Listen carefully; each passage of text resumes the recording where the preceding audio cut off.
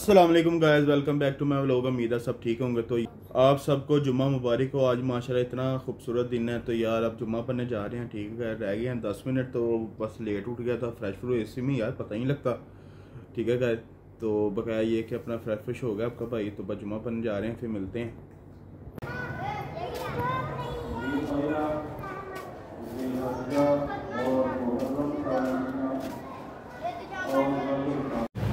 Uncle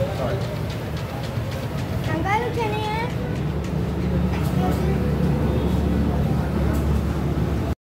जी guys अपना घर आ चुका हूँ तो यार जुम्मा पढ़ लिया था, साथ ही यार नाश्ता करना था, मैंने कहा, यार चले चने ले आया चने चुने आपका भाई ले आया, अब घर वाले नाश्ता बना रहे हैं मेरे लिए। तो अब नाश्ता आता तो फिर करते हैं।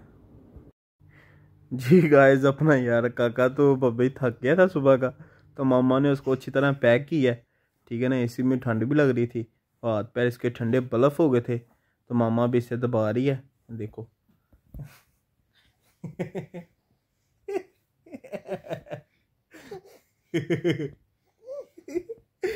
क्या हुआ है मम्मा दबा रही है। खिदमत कर रही है मम्मा तेरी।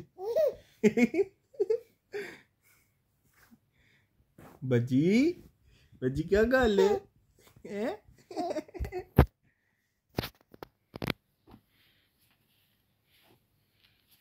तू मज़े मज़े। चलो ठीक हो गया। जी गैस ये शीटें मैंने डाल दी हैं। ये देखें घर वालों ने शीटें डाल दी हैं। तो बड़ा ज़बरदस्त हो गया है। तो ये मेरे वॉचेस पड़ी हुई हैं। तो बकाया ये है कि अपना खाना शाना खा लिया यार। ठीक है गैस तो अपना यार आज तबीयत पता नहीं जिसम दर्द हो रहा है, इसलिए तरह व्लॉग डेली मैं बना नहीं पा रहा यार सही तरह जो बनने चाहिए। तो बकाया यार कोशिश कर रहा हूँ कि अच्छे से अच्छा मेरा व्लॉग बने।